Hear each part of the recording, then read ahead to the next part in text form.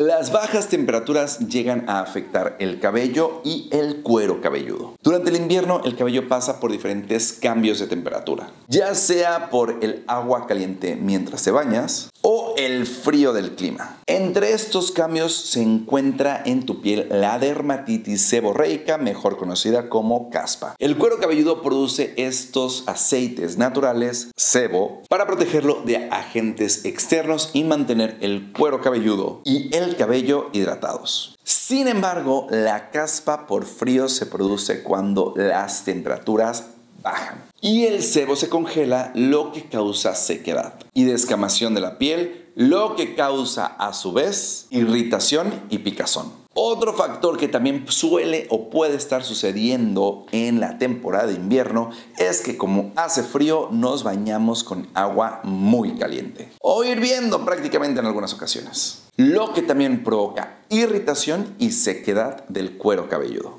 provocando caspa. Lo mejor siempre será bañarse con agua tibia y lo más templada posible. Las mejores formas en que podemos prevenir la caspa durante la temporada de invierno es utilizando un shampoo hidratante, ya que durante las temporadas de invierno el cuero cabelludo suele deshidratarse y por ende como resultado también tenemos el cabello y da como resultado la caspa.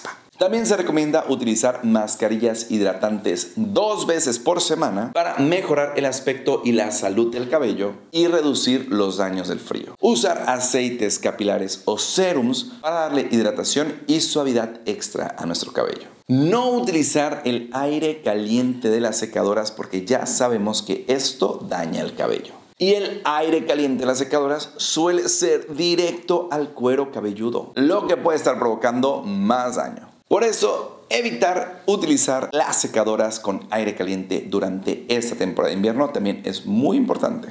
Y pues bueno muchachón, eso es todo por el video del día de hoy. Espero te haya gustado y te haya servido muchísimo este video para que así tú sepas cómo pues, cuidar tu cabello en esta temporada de invierno para no tener caspa. Ya muchachón que me puedes seguir en Instagram que me hace muy feliz cada vez que uno de ustedes me sigue.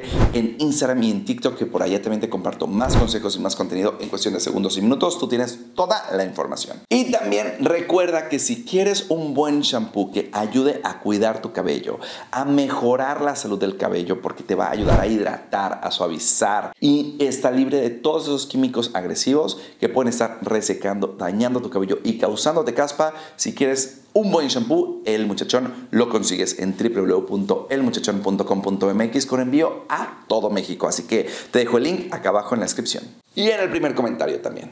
No olvides dar like a este video si te gustó sobre los cuidados para prevenir la caspa durante esta temporada de invierno. Y también no olvides suscribirte porque ya casi llegamos al medio millón de muchachones. Y déjame aquí abajo si has presentado caspa durante esta temporada de invierno. Recuerda que yo soy JM Montaño y nos vemos en próximo video. Good luck.